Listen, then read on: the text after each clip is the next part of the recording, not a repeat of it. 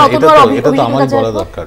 একটা বিষয়টা হচ্ছে যা ঘটনা ঘটেছে সেই ঘটনা নারকীয় ঘটনা এটা বাংলার জনমানুষে একটা প্রভাব পড়েছে যে নির্যাতিতার বিচার চাই সবাই চেয়েছে আমরাও চেয়েছি। তিন দিন পরে। কিন্তু হ্যাঁ কিন্তু কিন্তু ঘটনাটা হলো যে এর জন্য এই যে জুনিয়র ডাক্তার যারা আন্দোলন করছে তারা একটা সেন্সিটিভ পার্ট আমাদের সমাজে এবং তাদের সত্যি বয়স কম।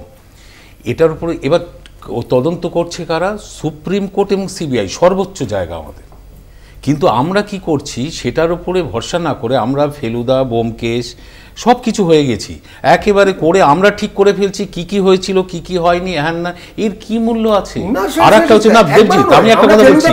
তাহলে তাহলে আমি একটা কথা বলি। একটা কথা বলি।